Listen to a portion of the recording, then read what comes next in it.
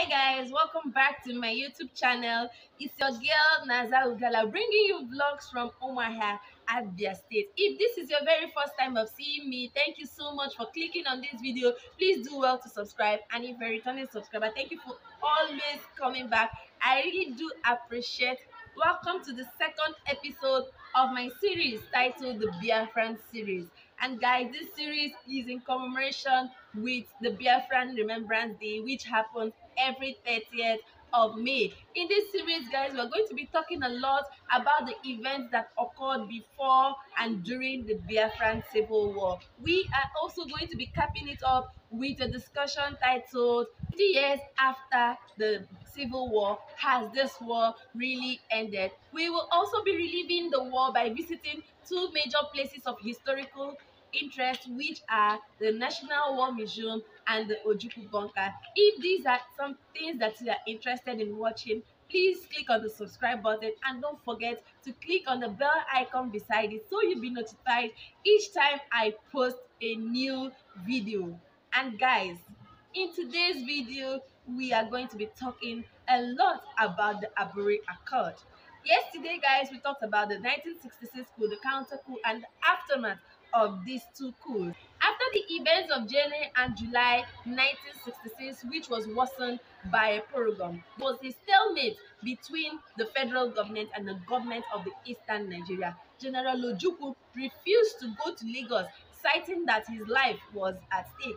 Also, General Gowon, who was in charge at this time of the federal government, refused to come down to the east, also citing the problem of safety as his reasons so, there, so it was agreed that a meeting would be held at, held at Aburi in Ghana. This where these two parties would meet. The meeting was held from January 4th to 5th in 1967. A document memorializing the areas of shared understanding was produced after two days of meeting. It was known as the Aburi Accord. The gathering was attended by senior military and police officials and government secretaries. Topics for discussion included a committee to work out a constitutional future for Nigeria, the back payment of salaries to Igbo government employees who were forced to leave their posts as a result of the disturbances, the need for resolution renouncing the use of force, the refusal of the eastern region to recognize Lieutenant, Con Lieutenant Colonel Yakubu Gowon as Supreme Commander, the predicament of displaced persons following the pogroms in the north, the fate of soldiers involved in the January 15, 1966 coup, and the planned distribution of power between the federal military government and the regional government also required urgent attention. Within a few days of Gowon's return to Lagos, the Aburi agreement began to die on the vine. Are available. The records are there. In fact, only about two weeks ago, I saw a set of the records again. The transcripts are available. But we talked about the Nigerian situation. And certainly, at the end, Everybody says, oh, you told them this, you did that. The fact was that our case was so clear that I actually, I actually believed at the end of Aburi that the problem was not Gowon, but probably some ambassadors in Lagos who were uh, pressing for something else because we understood each other. We agreed on every single point. The drafting was, in fact, my chief secretary with two other chief secretaries from the other side. They said, no, no, no. And drafted and agreed. We looked at it, we agreed.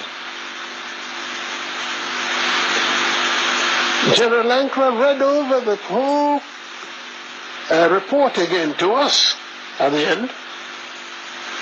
Asked us if we wanted to amend anything. No. At the end of all that, the position was so good that actually Ankrah drove Jack Gowon and myself to the airport. Jack was sitting on his left, I was sitting on his right. He was in the middle. And in the course of that journey, at, at a point, General Ankrah shook his head and said, oh, thank you. Thank you. If only we can go on like this, everything would be all right. I believe I was the one. As I do now from time to time, I go for the dramatic. Suddenly I picked up Gowon's hand, put it on Ankrah's lap, brought my other hand, placed it on it, and I said, General, sir, hold us together. I want to say something. So General Ankrah put his hand on top of the two hands, and I said, General, I want to assure you that I am totally satisfied with everything we said. I will even go further and say to you something I did not say at the conference, and that is that once we have implemented everything we have said, I would ask you for one favor and one favor only, and that would be to be the one to propose Jack Gowon as a head of state of Nigeria. It was a two-day conference of peers and old mates, but its aftermath produced even further controversy when we came uh, came back and Ojukwu did not go to make the statement he made first, virtually giving the impression that we've uh, agreed for a confederation to uh, move apart, etc., uh, which was really not uh, in exactly that. Uh, if I had had the, the, the opportunity to make my broadcast in because that was the agreement, not for him to make the, uh, uh, broadcast first. Then, if I had committed myself to what he said, then there, there wouldn't have been any problem. But uh, he went and said certain things that certainly looked uh, wrong, and therefore we saw in practically everything he did. I think it was uh, uh for uh, to play up to the, the, gallery, not being sincere. At Aburi, yes, we agreed on area commands for the armed forces. At Aburi, we agreed that the police force would be decentralized. We agreed on those. Yes. We agreed. Even to show that we didn't separate, at Aburi we also agreed on a certain revenue formula. That's what happened at Aburi.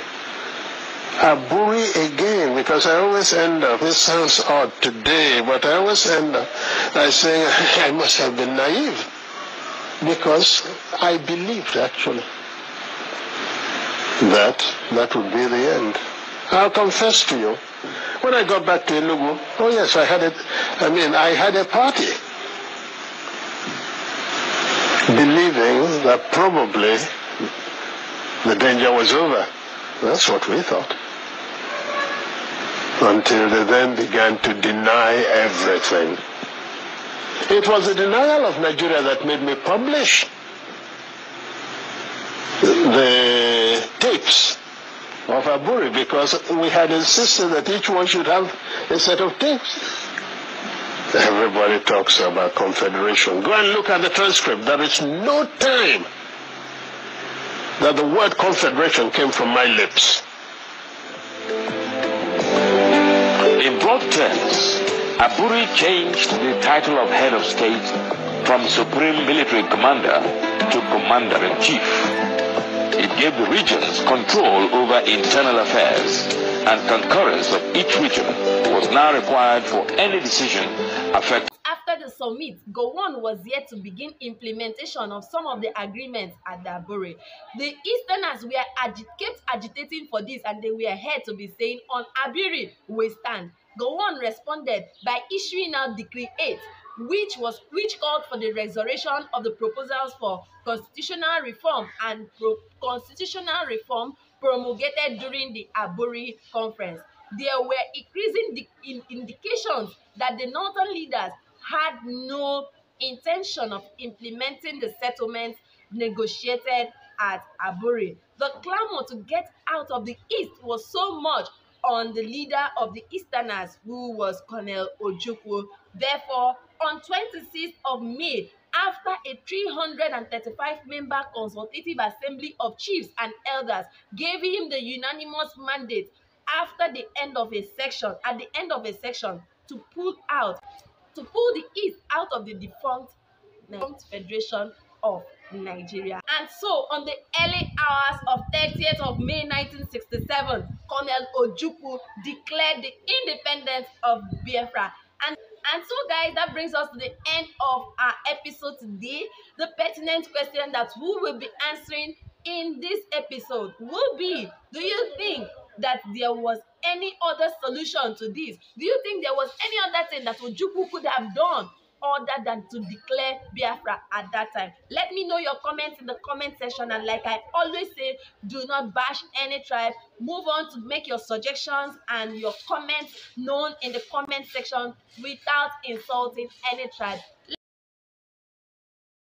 But first, let us hear what Ojukwu himself has to and say. And children of our kith and kin were taken out of their beds and slaughtered. They were massacred in places of worship, in the streets, in marketplaces, and in vehicles trying to carry them to safety. People were being massacred all over Nigeria. And to be able to give them better protection in the circumstance available, when within the means available to me, what was done was once you cross this line, you are home and safe. And Biafra, to a large extent, was in fact that line. By tomorrow, guys, we will be talking about how the Biafrans fought the war. If it's something you're interested in watching, don't forget to subscribe. Don't forget to keep click on the bell icon beside the subscribe button so you'll be notified each time I post a new video. It's still your girl Naza Ugoala bringing you vlogs from Umuahia, Abia State. Bye.